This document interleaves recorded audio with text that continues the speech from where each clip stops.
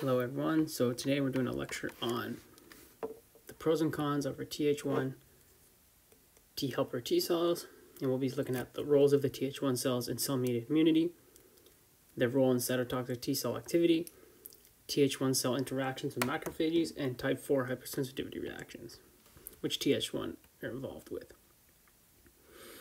So a little bit of refresher from our last lecture on T cells, so you guys can go back and look at that. But again, we're focusing on CD4 and we'll have a lecture on Th2 as well. So just a reminder, we have our CD8 cytotoxic T cells, which we mentioned before, our TFH, which are our T follicular helper cells. I'm not going into too much detail, but just a little reminder. These T follicular helper cells are important for B cell help and promote antibody promotion and class switching. And then again, we have our different subsets. Th1, which promotes cell-mediated immunity, Th2, which promote antibody production, usually IgE, see that here. Then our Th17, which are pro-inflammatory, and our Tregs, which have a regulatory role. So again, check our last lecture for a recap on this in a little bit more detail.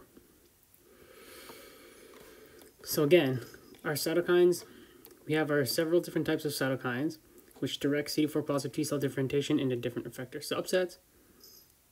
So we have these signals, this signal 3, which remember we are T cell and our APC has first two signals. So we have for 1, which is our T cell receptor, 2 is our co-stimulatory receptors, and 3 is our cytokines. So again, here we have the cytokines that will stimulate the different types of T cell subsets. And again, we'll focus on Th1 today. So importantly, we have IL-12 and interferon gamma, which activate T-bet, which induces Th1 cells, which release further IL-2, IL-2 and interferon gamma. So again, here we can see they're controlled by the different cytokines. So here we have IL-12, which is the main one. So our CD4 positive effector T cells specialize in different actions that allow them to control the immune system. Infections caused by intracellular pathogens tend to induce interferon gamma and IL-12, and this promotes Th1 differentiation and action. So, Th1 cells are active in promoting cell-mediated immunity. Actions of Th1. So Th1 cells, again, release interferon gamma and IL-2. They promote CMI, or cell-mediated immunity. There's the activation of our APCs, our CTLs, our phagocytes, and as well as our NK cells. And yes, they can be influenced by B cells, so, interferon gamma is a switch factor for certain immunoglobulin G subclasses. So, interferon gamma released from Th1 cells can influence B cells to go to IgG1 or IgG3 in humans and promote opsonization, which promote opsonization and complement fixation. So here we have our example. We have our naive T cell, proliferating T cell, an immature effector cell. So again, here's the differences between going to a Th1 to a Th2. So in this case, we have differentiation into Th1 is promoted by IL-12, which we said. This Th1 cell can then release IL-2 and interferon gamma, resulting in macrophage activation, B cell activation, and the production and of opsonizing antibodies such as IgG1. We also have T follicular helper cells, which also produce interferon gamma and drive class switching by B cells to IgG1 and IgG3. So why do we need cell-mediated immunity? So cell-mediated immunity is a combination of innate and adaptive immunity activity and is carried out by cells, mainly T cells and phagocytes. So the products of adaptive immunity can enhance activity of innate cells. So for example, Th1 cells can activate macrophages and NK cells. Th1s can also be can also activate CTLs. And the CTL and B cells also act to promote production of opsonizing antibody to enhance phagocytosis. So in comparison, Th2 cells interact with B cells, but are usually not part of the cell-mediated immunity picture. So here, we can see here, we have cytotoxic T cells travel through the infected tissue, where the virus-infected cells present specific antigen. So virus-infected cells die by apoptosis by the CTLs. Effector Th1 cells travel to infected tissue, where macrophages infected with or containing the bacteria present present specific antigen. So again, as in pre antigen presentation, then we see our activated macrophages kill the bacteria. And then here we have our Th2, for example. So cell-mediated immunity is responses involving many cells. So the key participants are the Th1 and CD4, CD4 positive Th1 cells, our CTLs, which are CD8 positive T cells, our phagocytic cells, including macrophages and neutrophils, and our NK cells. The key goal here is dealing with intracellular pathogens. That's one of the main functions, Th1 and intracellular pathogens. So T helper cells provide cytokines to assist in macrophage activation, and CTLs can kill altered self cell self cells such as virus infected cells. So again, we have our Th1 cell releasing cytokines with our co-stimulator signal binding as well as T cell receptor. These T cells secrete effector molecules onto the surface, as can see. So we have our cytokines here, and then we also have CD8 T cells working at the same time, which release these as well.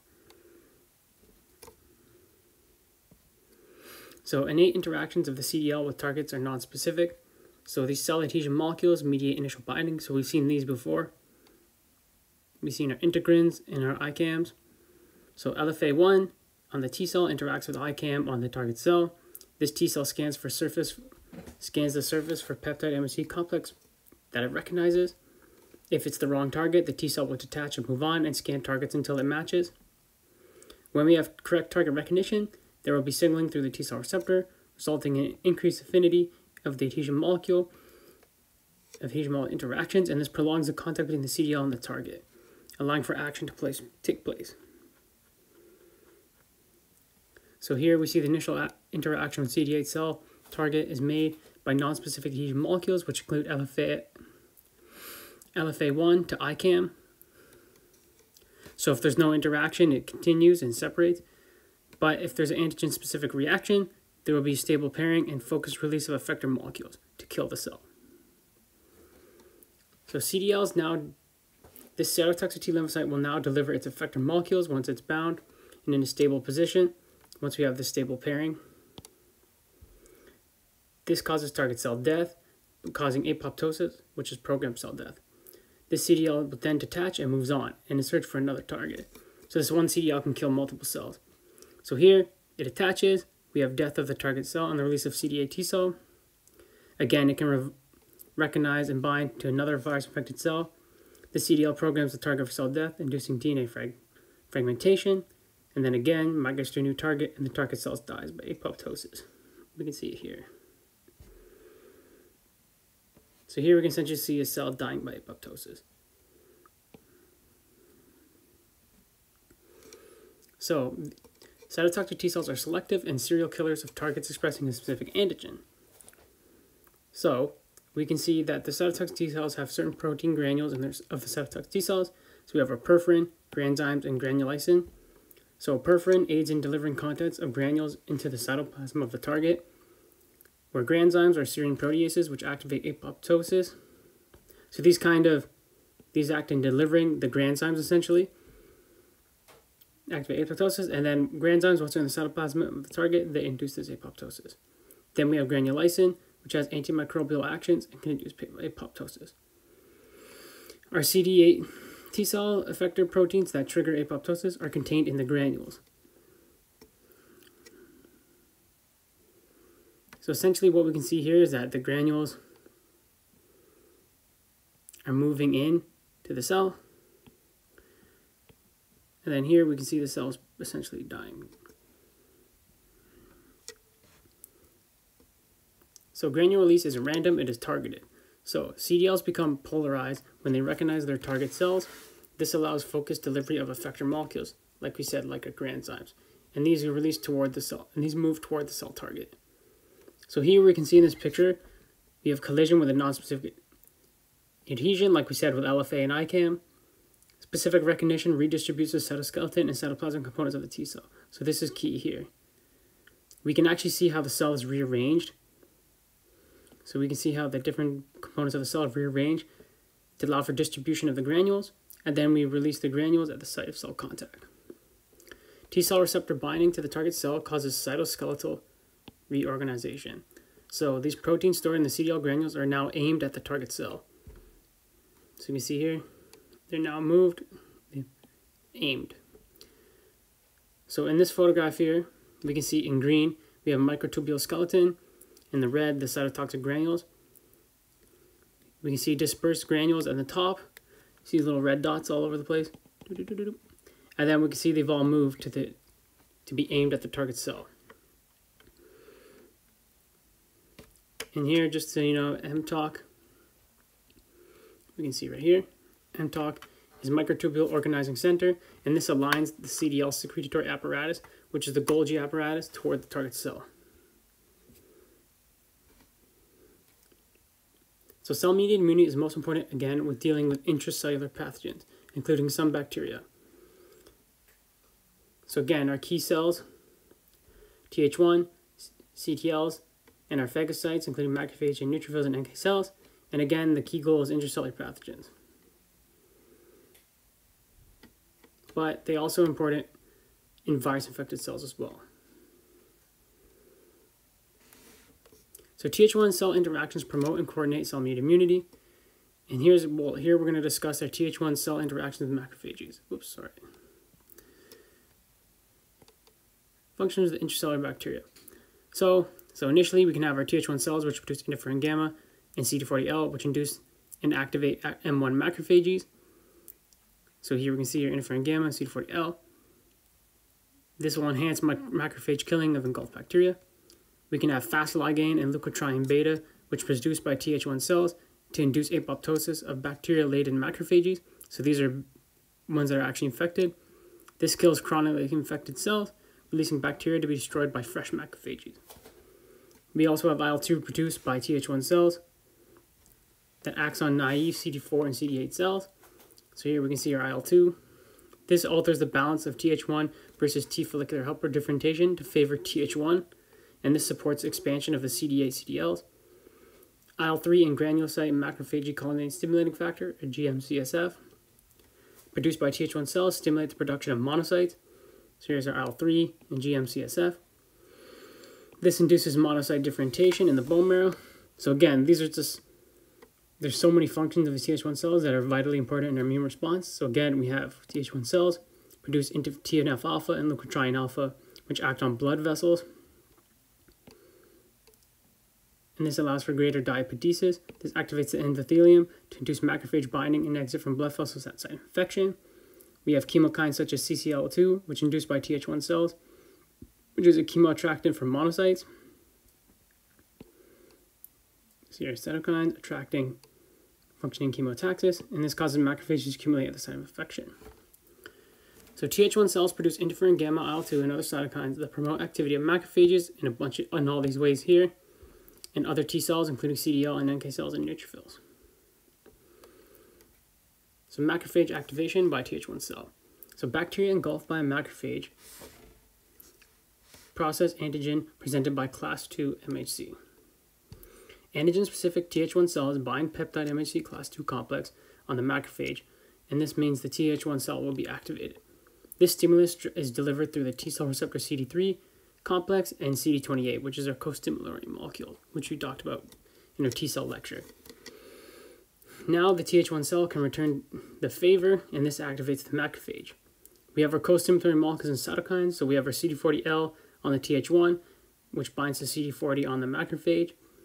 Then our Th1 cell secretes interferon gamma, and this binds interferon gamma receptors on the macrophage, and the outcome is further macrophage activation. So you see here interferon gamma and a CD40 interferon gamma receptor and a CD40 ligand. Th1 cells have a central role in macrophagy activation, so that's key. Macrophages need two signals, two signals, to become fully activated. This is delivered by interferon gamma and CD40 to CD40L interaction, and Th1 can deliver both of these signals. So it's extremely effective at dealing activating macrophages. So these activated macrophages are not just more present, I guess, in infection, they're actually more effective than they would be without Th1. So these activated macrophages, so the result of this is activated macrophages are more effective at dealing with pathogens. You can go to this link here if you want to see an animation. So these products of the activated macrophages are what we see up here. So you have activation of macrophages by Th1 cells, promotes microbial killing, and must be tightly regulated to avoid tissue damage. So you can see there's so many different things really released, IL-12, TNF-alpha, nitric oxide, IL-12, and then we have our different receptors for CD40, MHC1, 2, and B7 molecules.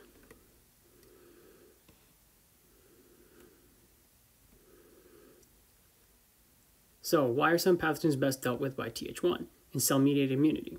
So here's an example of a thing that happened not too long ago in Canada. Was a huge beef recall in Canada. So this was because there was a bacteria that caused intracellular infection. This was Listeria monocytogenes. We have Mycobacterium tuberculosis and Mycobacterium leprae. These are all viruses. So again, there was a virus infection in these food or intracellular bacteria that caused a, a lot of infections. So this Th1 response resulted in a continued tuberculoid infection when we're looking at Mycobacterium leprae. So how do we deal with these intracellular pathogens? And then we'll talk about this. So it can cause a contained tuberculoid infection and the production of IL-2 and interferon gamma. A Th2 response resulted in disseminated lepromatous infection with the production of IL-4 and IL-10. So essentially this is pointing out that these are different pathogens and the fact that with a Th2 response and Th1 response, we clearly have different results. So this was effective against the other one while not being effective against the other. So example, cytokine profiles of different responses to M. leprae, which is the cause of leprosy. So a Th1 cytokine profile on the left can contain the infection, so I actually dealt with it. We can see here. And LT, just so you guys remember, is a lymphotoxin. In contrast, our Th2 cells had a Th2 cytokine profile on the right. We had disseminated infection. So we can see here, lots of infection. So now continuing the leprae. So again, this Th2 response contained the tuberculoid infection with the promotion of IL-2 and interferon gamma. This results in macrophage activation and better killing of the intracellular M. leprae and localizes the infection. With a Th2 response, we had a disseminated or lepromatous infection with IL-4 and IL-10. So the virus or bacteria grows in the macrophages and is stuffed with bacteria and it spreads throughout the body. This damages to the skin, cartilage, bones, organs, and nerves.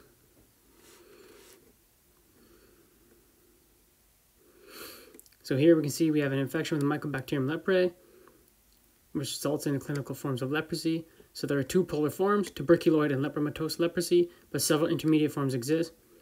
So in our tuberculoid, we have an effective Th1 response, which kind of keeps the uh, infection localized. So again, we have low infectivity, essentially have a granulomatous granulomas formed and local inflammation and some peripheral nerve damage, normal serum Ig levels, and normal T cell responses.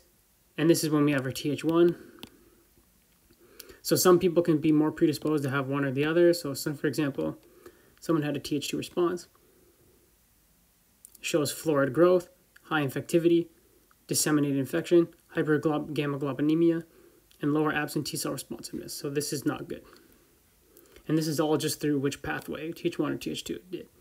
So this is why it's so important to know that our body can actually decide when it's more appropriate to use one or the other.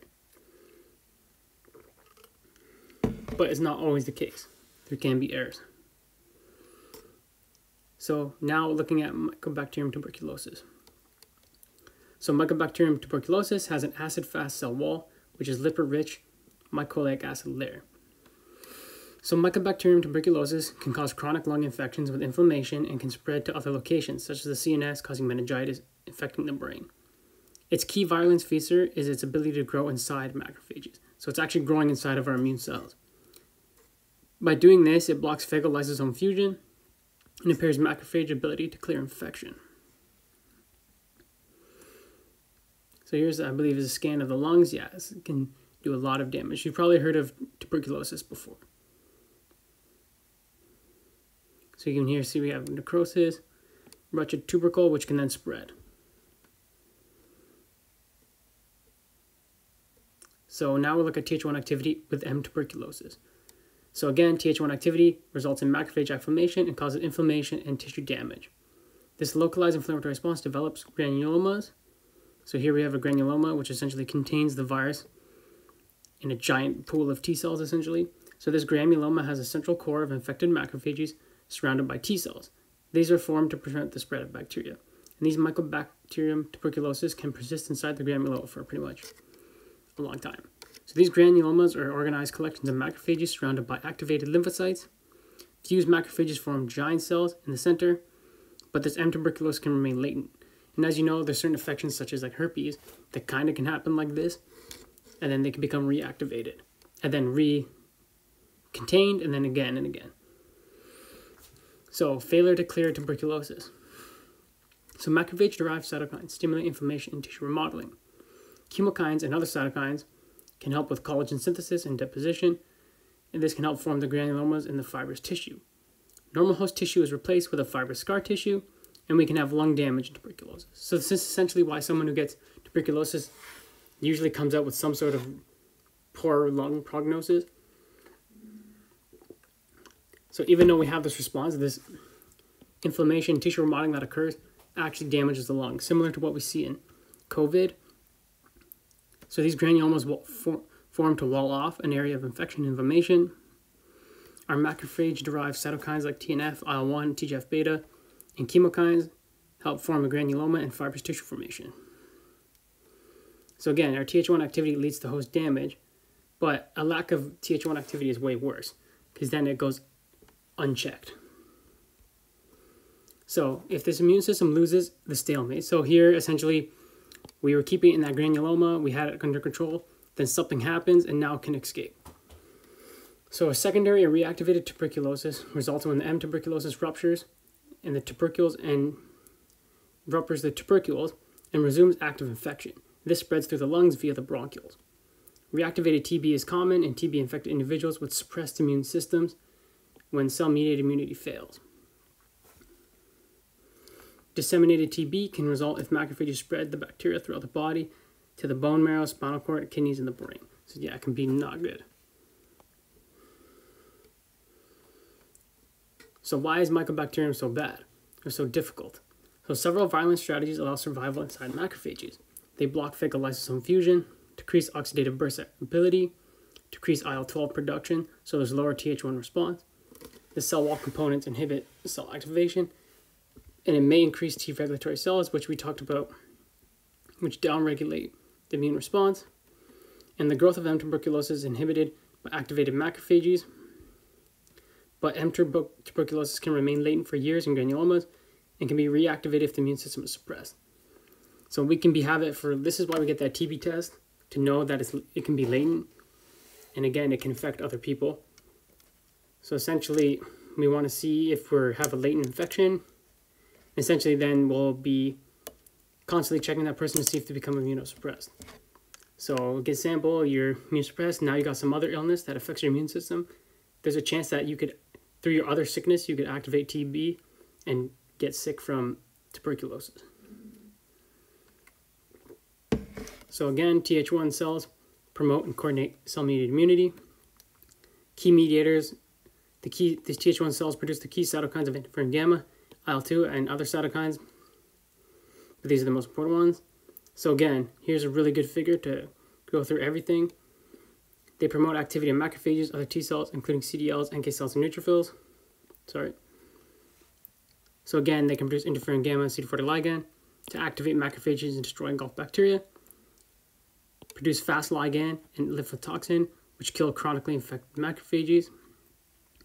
IL-2 to induce T-cell proliferation, IL-3 GM-CSF, induce macrophage differentiation in the bone marrow, and again, TNF-alpha and chemokine CXCL2.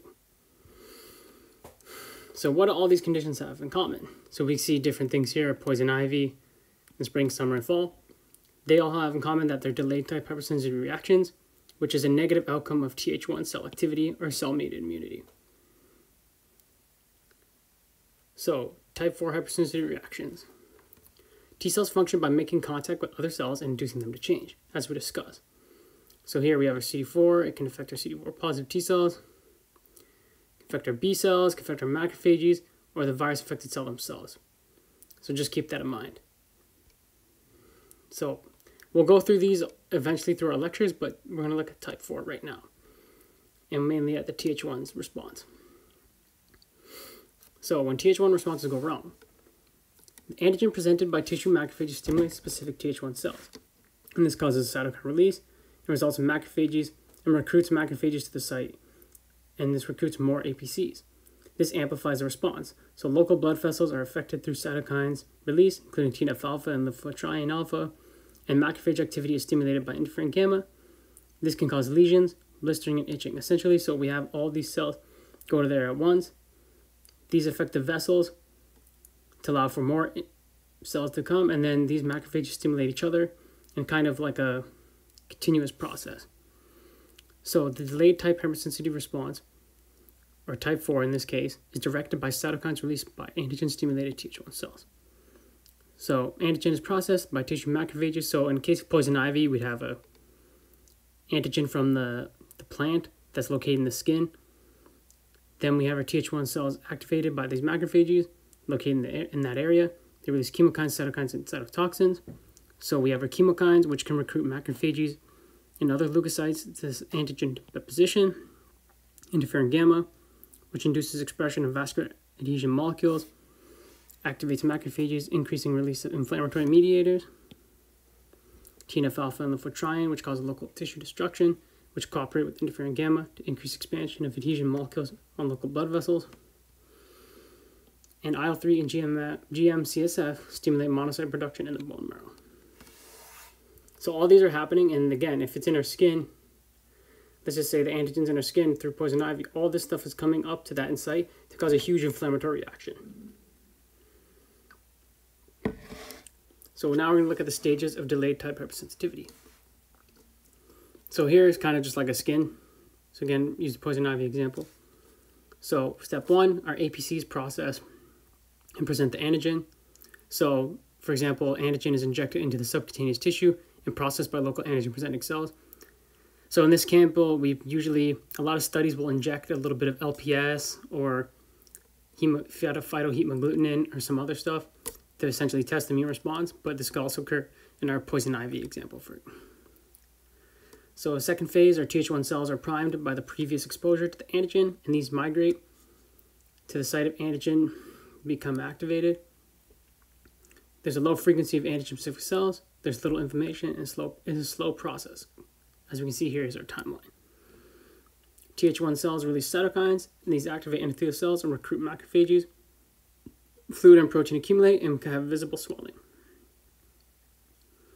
So essentially, first phase, antigen uptake, processing, and presentation. Second phase, prime Th1 cells migrate to the site, are activated and release their mediators, and attract and allow macrophages down to enter the site. So here, next, we have a Th1 effector cells recognize antigen and release cytokines which act on vascular endothelium. And then we slowly have this build up of inflammatory mediators and cells where we have a recruitment of phagocytes and plasma cells to the site of antigen infection, which causes visible lesion. So like we saw, the swelling, blistering, etc. So types of type 4 reactions. So a practical application here is our tuber tuberculosis test, as I mentioned. So tuberculin is from Mycobacterium tuberculosis and is extra-intradermally, which you might have had this test before. So tuberculin is made of peptides and carbohydrates. It is used to test for exposure to tuberculosis. It essentially checks if you have an infection or immune or immunization with BCG vaccine will result in a positive response. So what happens if there's a positive reaction? So if a lesion appears one to three days due to the mononuclear infiltrates, like we said, we have this time frame. That's why you take it, go home, and then come back. These Th1 cells responding to tuberculin release inflammatory cytokines like interferon gamma, and these result in changes in blood vessel endothelium and this increased endothelial permeability and adhesion molecule expression. Macrophages and lymphocytes then enter the site and cause that visible swelling and redness that you see if you're positive. So in tuberculosis, we have a continuous macrophage activation forming granulomas, causing tissue damage. So again, here's a histologic picture showing the dermal mononuclear cell infiltrate after a Mantoux test, which essentially our tuberculin test. The response appears one to two days after injection, producing a red, raised red area of the skin. So you can see.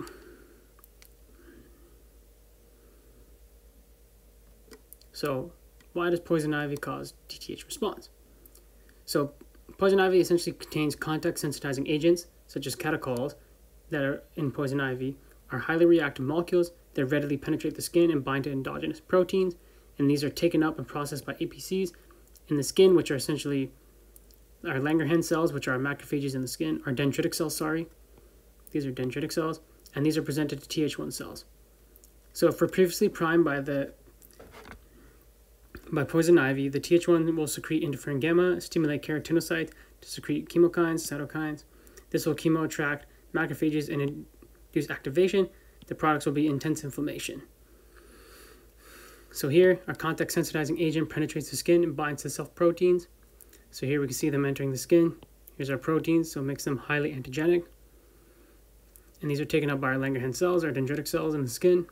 These Langerhans cells present self-peptides to haptenated with the contact sensitizing agent to the Th1 cells, which secrete interferon gamma and other cytokines. Activated keratinocytes secrete cytokines such as IL-1, TNF alpha, and chemokines such as IL-8, CXCL11, and CXCL9. Here we can see a bunch of the mediators.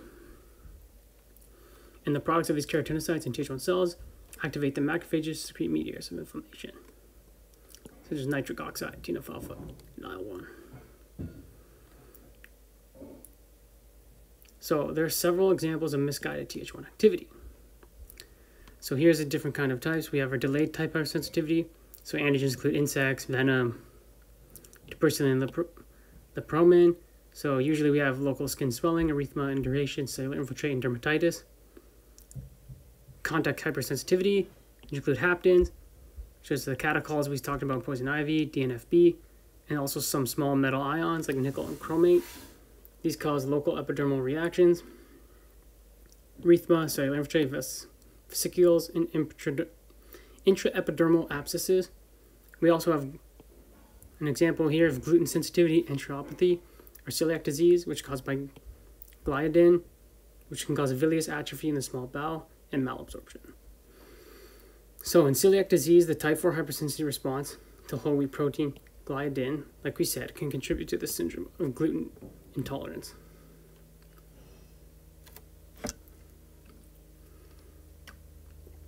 So not are these involved in some more, I guess you could say, reactive stuff. They're also involved in some autoimmune diseases. So again, some common autoimmune diseases classified by immunopathogenic mechanism. So we can have type 4 T cell mediated disease. So example, type 1 diabetes. So our autoantigen is the pancreatic beta cell antigens, causing beta cell destruction. Rheumatoid arthritis, synovial joint antigen, joint inflammation destruction, MS, our myelin basic proteins. It results in brain invasion of CD4 T cells, muscle weakness, and neurological symptoms. Crohn's disease, intestinal microbiota is targeted, where we have intestinal inflammation and scarring and psoriasis, some sort of skin antigen, and inflammation of the skin and formation of plaques. So again, whoops. So here's a summary. We have our Th1 cells. Here are their main functions. Pathogens targeted. So again, CD4 positive Th1 cells are active in promoting cell-mediated immunity, which is essentially their form role. And the cell-mediated immunity is usually in a positive manner, but as you saw, it can be involved in some diseases and usually needs to be suppressed. But yeah, I hope you guys enjoyed it. Next lecture, we'll be taking a look at TH2. So see you then.